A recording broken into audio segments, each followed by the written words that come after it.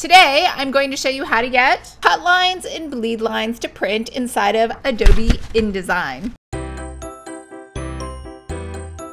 All right, I'm going to show you two different ways to, well, three, four, just stick with me on how to create cut lines in your file. So first of all, if you're using Adobe InDesign at home and you just want to put cut lines on there, you're just going to go to File, print inside of Adobe InDesign, go to marks and bleed and make sure there's a check mark in front of crop marks. So you'll notice that when I uncheck this, the preview window has no crop marks, but when I hit it again, you can see tiny little crop marks in there. Now, this is assuming you're just printing this out for yourself to have cut lines, but if you're someone who sells printables, you probably want to assume one, two things. One, if people have A5 size paper, they don't even need cut lines, but most people have eight and a half by 11, so they will need cut lines. So here's what I like to do. I also like to provide kind of a full bleed almost. So what I've done is this background image, and not all things need a bleed. I've just simply pulled this out. So what I did did is that same file, I went to File,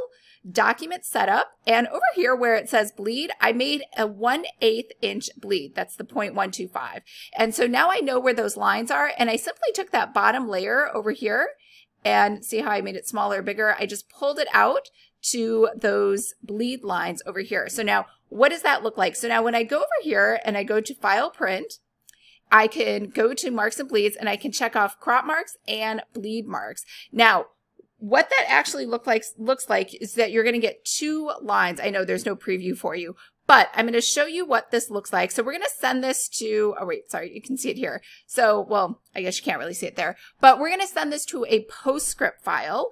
Um, and again, I like that heavier weight of the line. And I'm just going to save this as a PostScript file. So I'm going to say cut and bleed lines as PS file. Whoops. Now, PostScript files can't be opened on anything except Adobe Illustrator. You would never want to give somebody a PS file. So instead, you're going to take that file and you're going to open it up inside of Photoshop. I'm always assuming you have Adobe Creative Cloud. That's why I say just get the whole suite. It has a lot of different tools in there. Now, inside of here, we can see those bleed lines over here and we can see those cut lines. So those are the smaller ones. So in theory, when I cut on this page over here, so let's say I line up an imaginary line right here. These are those cut lines right there. And then over here, this is that bleed line out there. So you don't need a full bleed pr printer. This is an ACE five size page on an eight and a half by 11. So if you're wondering what that page size looks like, let me show you. So over here, I have another video on different page sizes and how that looks. Um, and so you're going to make sure that it all lines up. And then inside of Photoshop, you're just going to go to File, and you're going to go to automate PDF presentation. And then you're going to say add open files and you're just going to go ahead and save this and it's going to save this as your PDF file, which I've actually already done.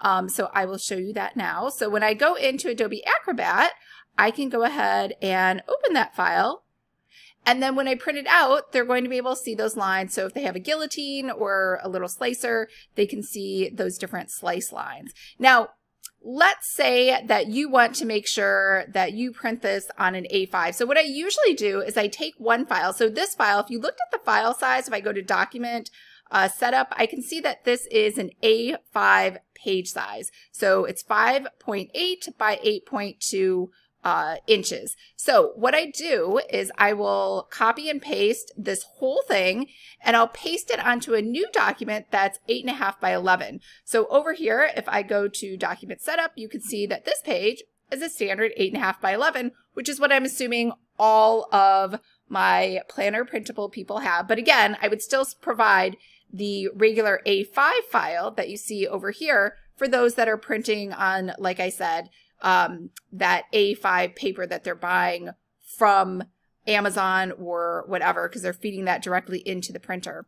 But for everybody else, we're going to assume they have eight and a half by 11. So we're going to add cut lines over here. So what you have is, if I show you this, so I have artificially drawn in the cut lines to this file. And I took the one without the bleed, so it doesn't go out extra. You could add the bleed if you want, but to make it simpler, I just used one that was exactly A5. So what I did is I simply, and let me just delete these for you is I made a square. So I went over here and I went to rectangle tool.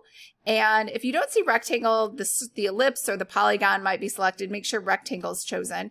And then I, whoops, I go over here and I'd like to make it hot pink just to match the rest of the colors inside of here. And maybe I'm going to make it a little thicker, like maybe a three. And I'm just going to eyeball it. Now I'm going to eyeball it by starting that rectangle outside of that paper because I don't want people to see a rectangle because they might get confused. I just only want them to see the cut lines. So I'm going to drag and drop and you'll see the guides kind of help me and it all turns green when I line up exactly at that corner.